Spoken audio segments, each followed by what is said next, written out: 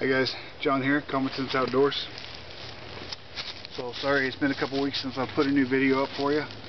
So I thought what we do today is when we made our bushcraft chair out at our little camp here, uh, I think it was the next video I had a cup of coffee. Kept setting my canteen cup on the ground. Well after it's been in the fire and you set it on the ground, leaves and whatnot stick to the resins that get on the canteen. Plus somebody uh, had a suggestion to do this, so what we're going to do today is make a table to go with our chair. Uh, got Tyler out here with me today. He's going to be behind the camera making sure uh, I stay in view and whatnot. Say hi, Tyler. Hi. And then uh, we're going to make us a table. Now there's lots of ways you can make a table. The most common is two trees. Just put a branch on each side of two trees, lash them all on, lay sticks across them, you got yourself a table. I would just want to use this one tree, the same tree I used for the chair.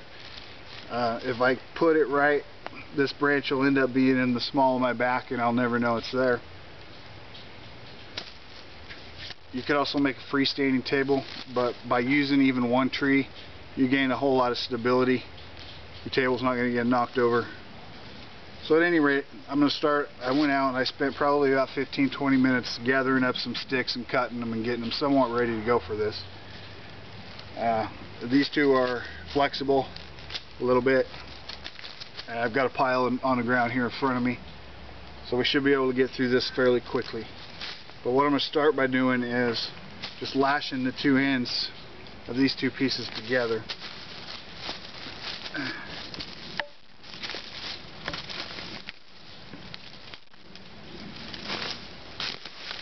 Got my bank line.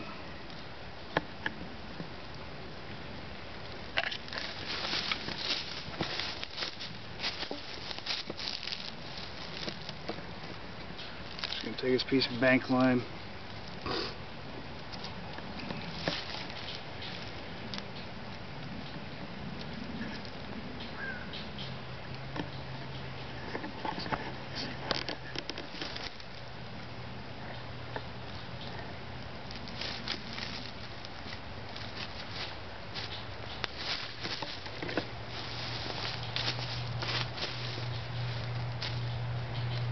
going to suck these ends all the way down tight together. Give it a couple wraps. Give it a couple fraps.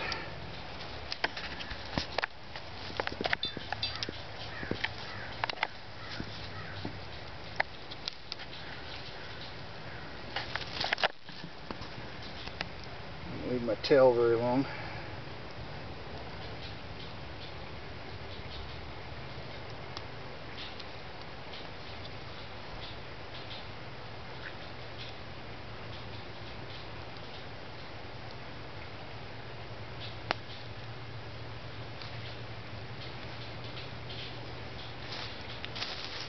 Alright, now next what I can do is just use the tree and pull my lashed end all the way in as tight as I want and then just bend these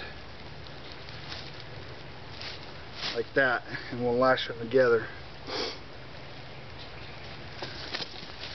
So let me get one of these sticks.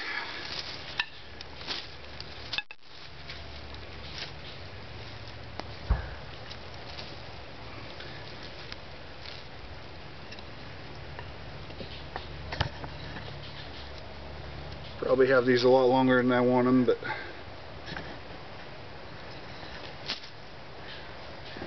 Alright. Give me a couple pieces of bank line ready to go here.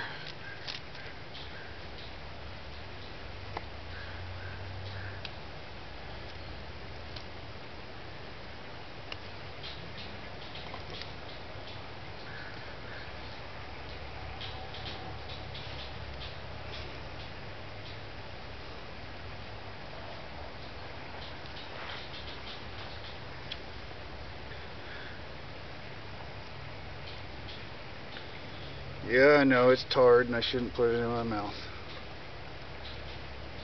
Just holding it with my lip.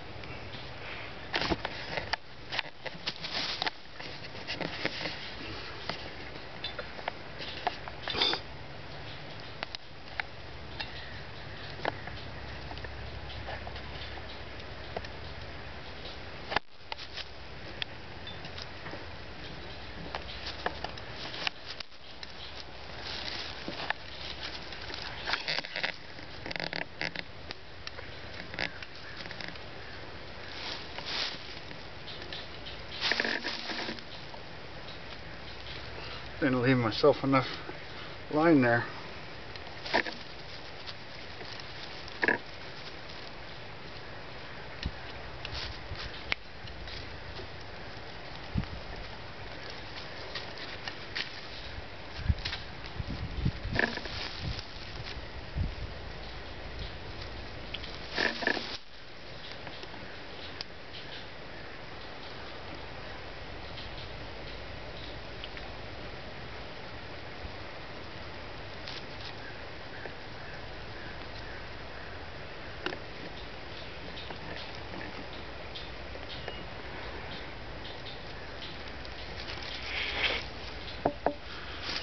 Okay, here's where we're ready to start coming together.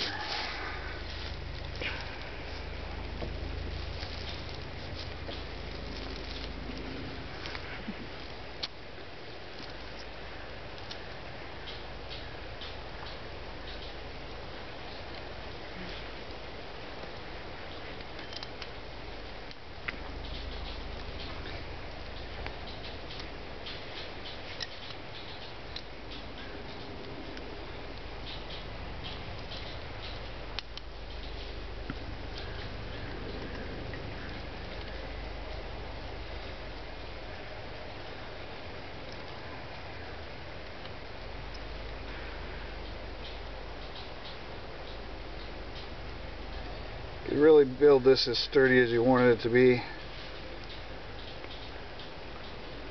I'm not going to set anything heavy on it. Place to set gear, my cup of coffee, some books, whatever.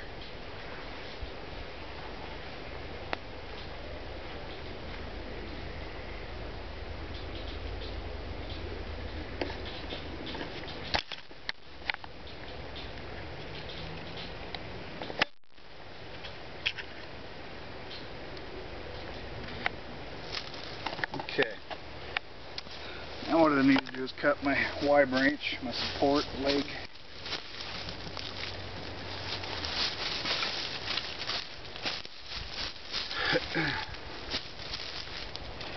You can get an idea how long I want it by looking at to my knee here. We might shove it in the ground just a little bit, so let's make it just a hair longer than that.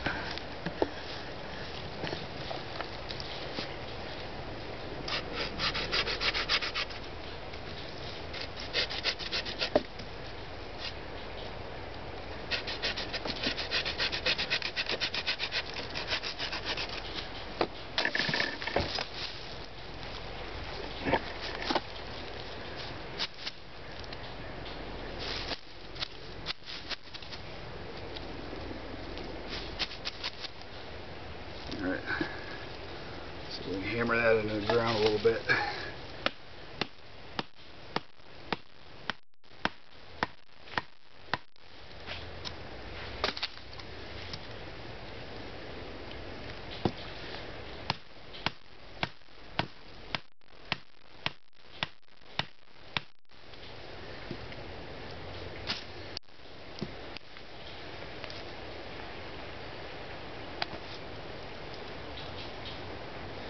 Now is take my first table piece, lash this right here.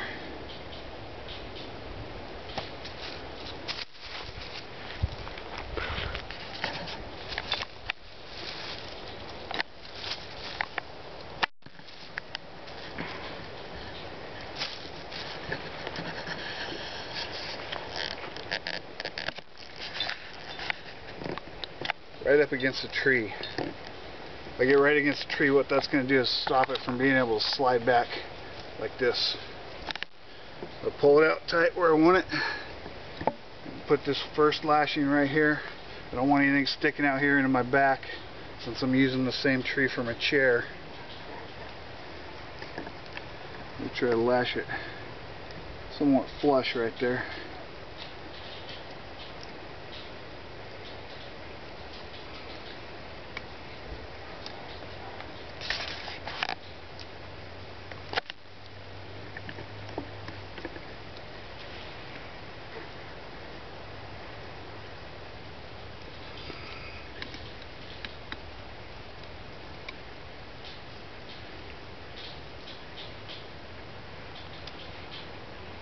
The knot's got to end up under there. Didn't think that through very well.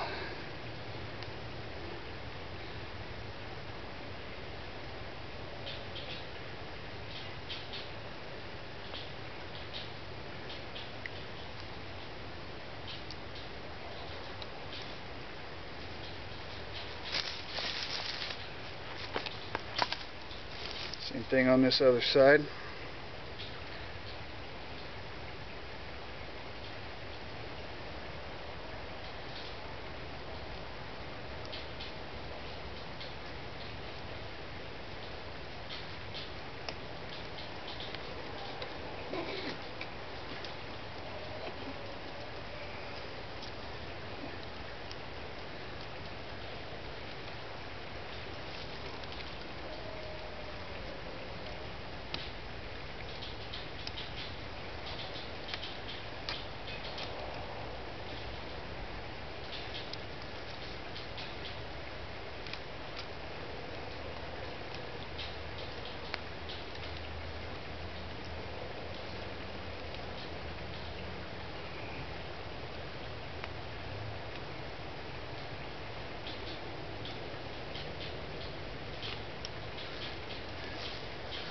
Okay. I've got another support leg if I need it. I'm actually going to cut these off. And we're going to add another one of these. About like so. Let me get that on.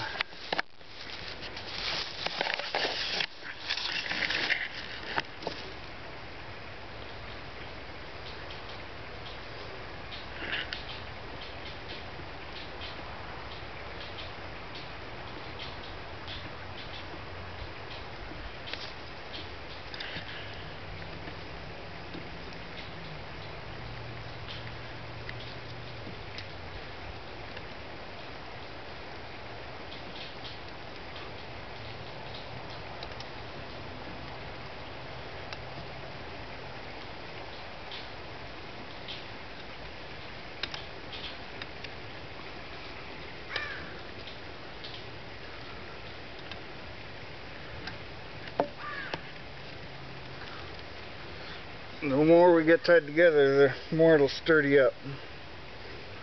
And like I say, I have to put another leg on it. I don't have to, we'll go with one.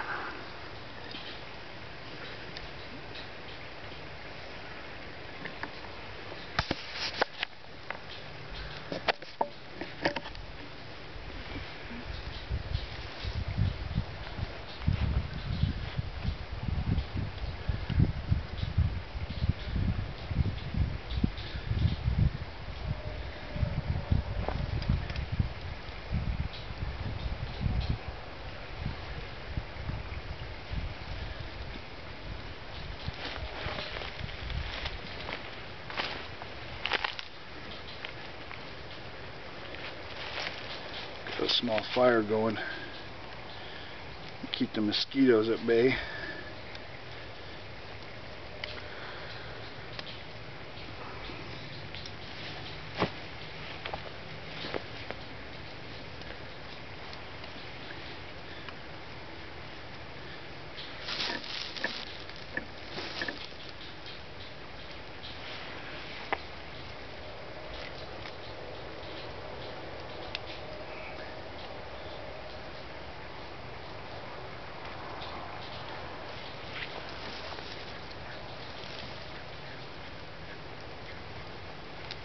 Okay.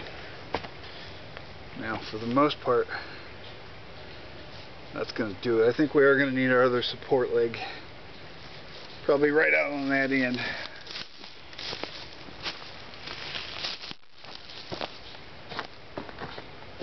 Grab that. What?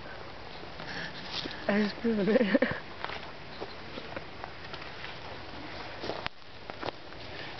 And we're just a little taller than the knee again.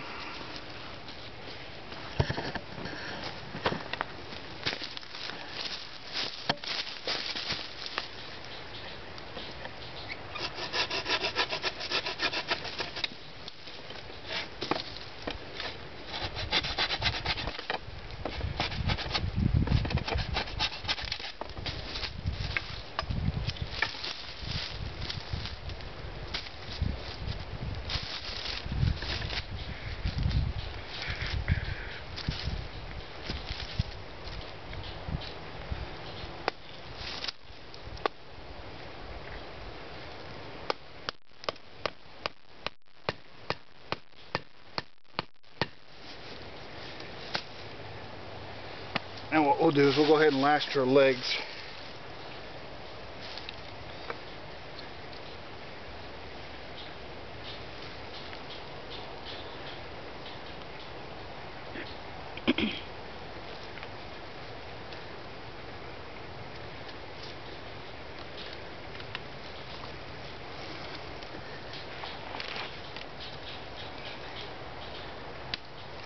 Doesn't have to be anything fancy here.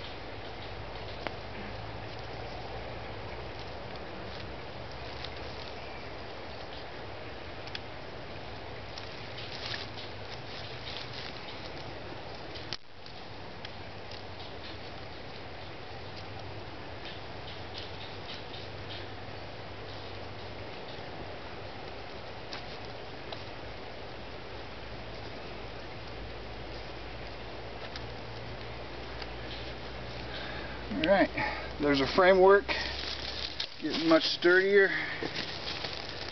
Now we just have to see how close I am to having enough sticks for the table. Now there's two ways to go when you put your tabletop on. The first would be, looks like it needs to tip down a little bit, doesn't it? Move it slow when you're going to move it. First would be to have bigger pieces, but then you have to, you're going to want to baton them because when you start putting, grab another one. When you start putting big pieces on there, you get pretty uneven. So when you go to set stuff on it, it's not going to set flat. So if you go for the smallest sticks you can find, by the time you start placing them on there, they line up a lot flatter. You don't have to do any batoning.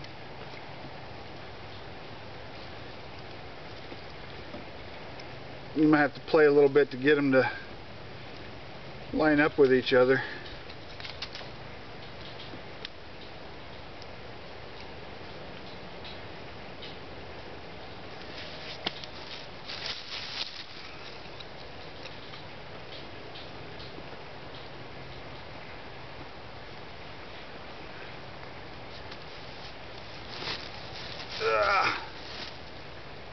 So, I have nowhere near enough sticks for this at the moment.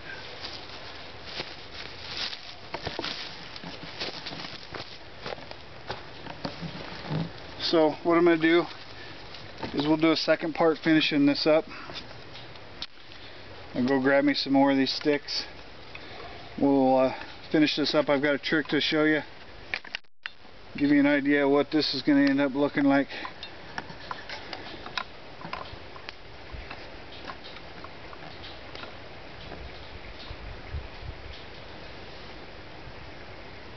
So anyway, let me go get some more of these little sticks found and cut, and we'll finish it up in part two. I'll show you a trick if you if you have uh, if cordage is an issue and you want to be able to hold all these little guys on here. There's a little trick to save you a lot of cordage that I'll show. So check out the next part if you want to see the finished product and uh, the tips on that. And thanks for watching. Thank you for your support, your views, your comments, your likes, your subscriptions be putting up another video as soon as I can. Thanks for watching, guys.